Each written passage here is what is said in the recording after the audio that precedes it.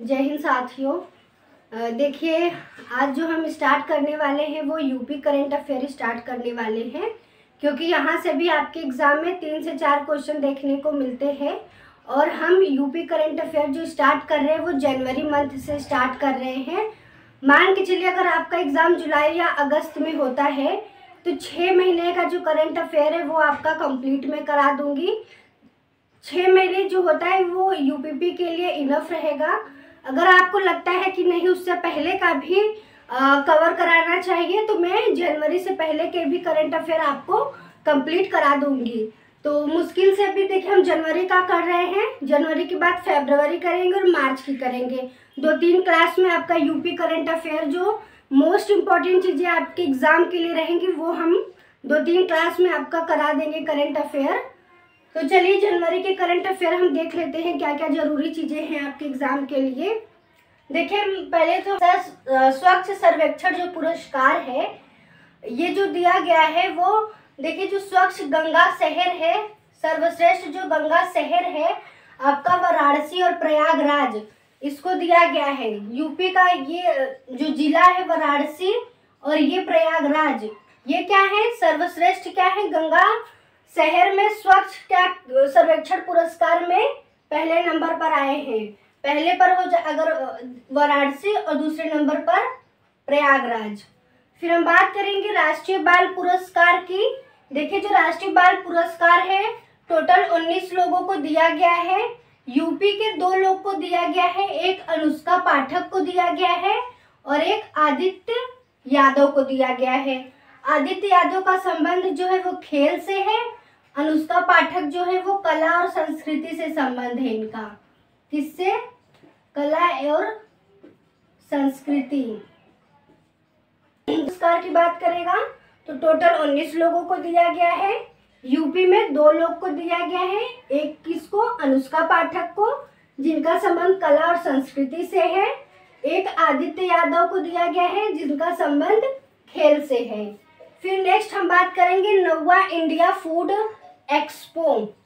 इसका अगर आयोजन पूछेगा कहाँ हुआ है तो इसका जो आयोजन हुआ है वो लखनऊ में हुआ है। कब हुआ है? एक से तीन दिसंबर के बीच हुआ है नौवा इंडिया फ़ूड एक्सपो का आयोजन। और भागीदारी अगर देश पूछेगा कौन था इसमें तो भागीदारी जो देश था वो कौन था? वियतनाम था। मोस्ट इंपॉर्टेंट है, आप अच्छे से पढ़ लीजिए इसको। कि नौवा इंडिया फ़ूड एक्सपो अगर पूछेगा तो ये लखनऊ में आयोजन हुआ है। भागीदारी देश पूछेगा तो वियतनाम। फिर बात करेंगे इंडस फ़ूड। देखिए, ये दोनों थोड़ा सा सिमिलैरिटी है दोनों में, पर दोनों चीज़ें क्या हैं? अलग अलग हैं। अगर इंडस फ़ूड 2024 का आयोजन पूछता है तो ये हो जाता है ग्रेटर नोएडा में किया गया है। इंडस फ़ूड 2024 का आयोजन कहाँ? ग्रेटर नोएडा में। वाणिज्य मंत्री थे पीयूष गोयल, उन्हीं के द्वारा इसका उद्घाटन किया गया है। फिर बात करेंगे यूपी के अयोध्या हवाई अड्डे का नाम बदलकर क्या रख दिया गया? तो यूपी के हवा, जो अयोध्या हवाई अड्डा है, उसका नाम बदल दिया गया और अब क्या कर दिया गया है? महर्षि वाल्मीकि हवाई अड्डा कर दिया गया है। महर्षि वाल्मीकि हवाई अड्डा, अयोध्या हवाई अड्डे का नाम बदलकर रख दिया गया। फिर बात करेंगे जो इलाहाबाद उच्च न्यायालय है, वहाँ के मुख्य न्यायाधीश कौन बने हैं इस समय नियुक्त किए गए हैं? तो ये बने हैं अरुण भंसाली। अरुण भंसाली को क्या बनाया गया है? High court, Allahabad high court के क्या बने, नियुक्त किया गया इनको? मुख्य न्यायाधीश बनाया गया कौन?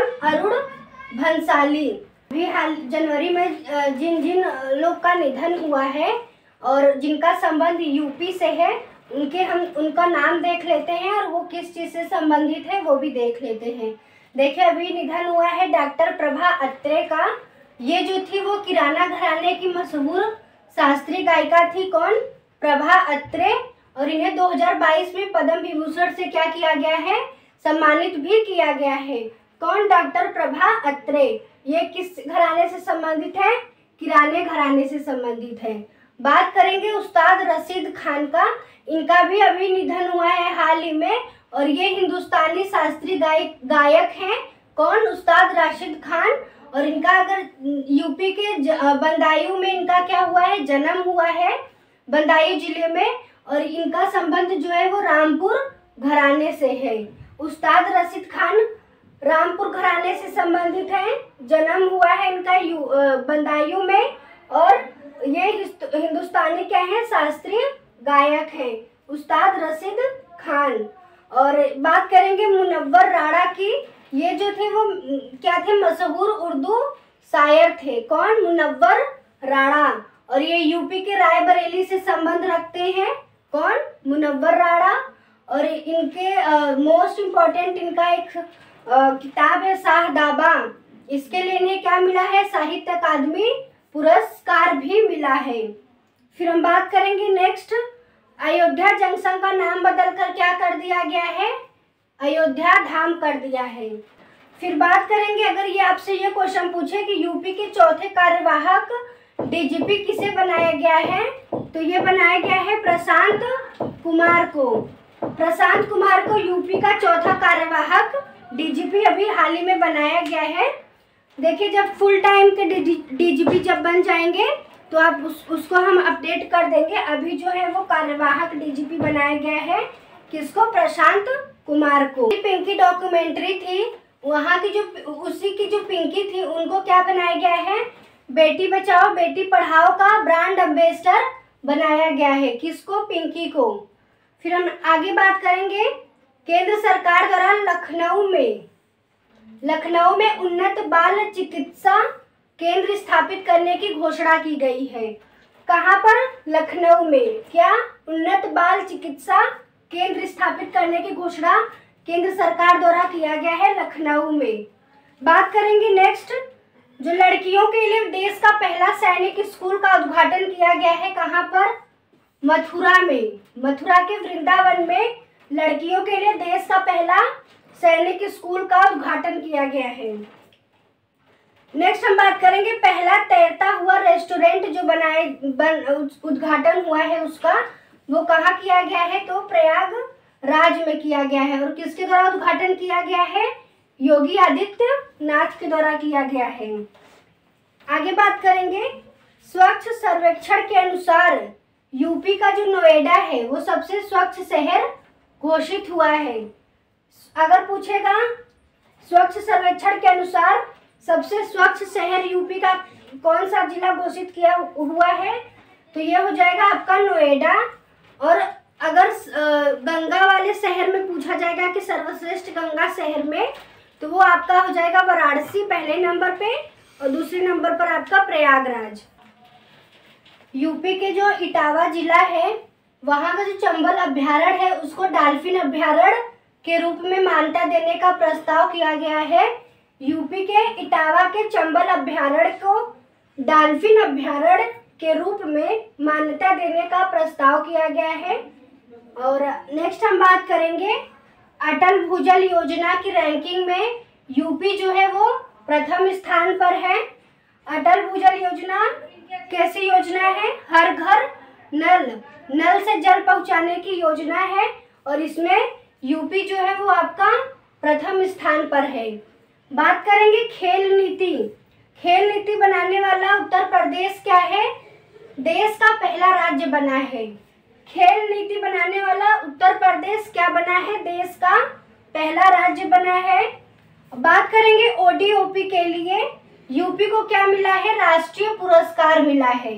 वन डिस्ट्रिक्ट वन प्रोडक्ट के लिए यूपी को क्या मिला है? राष्ट्रीय पुरस्कार मिला है। और अगर जनपद की बात करें, किस ज़िले को मिला है तो अगर यूपी की बात करेगा तो उसको राष्ट्रीय पुरस्कार और ज़िले में बात करेगा तो ये बांदा शहर को मिला है। उसके पत्थर कला के लिए किसको मिला है? बांदा को। किस चीज़ के लिए? पत्थर के कला के लिए। अब बात करेंगे आयुष्मान कार्ड बनाने में। यूपी क्या है? प्रथम स्थान पर है। अब तक चार four point eight five crore Ayushman card बनाए जा चुके हैं।